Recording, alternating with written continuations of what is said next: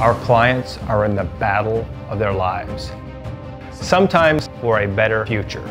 Sometimes even for their life. And we don't want them to fight alone. In the military, you never go outside the wire alone. When you go out, you go with a team. A well-trained, disciplined team that has your back. As a soldier, I took an oath to support and defend the Constitution of the United States.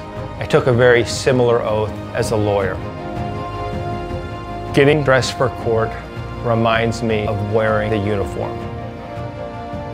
Every day, before I left the room, I would check the mirror. I wouldn't just check to make sure that my uniform looked proper. I looked in the mirror to see the face staring back at me, to see that I was the man that I had promised my soldiers I would be. The best commanders I had told me what to do and they expected me to execute. That made me a better leader. And my team never let me quit. At Berry Law, we've developed a similar culture.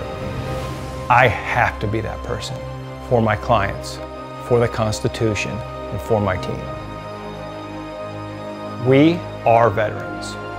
We are in this together one team, one mission, one result.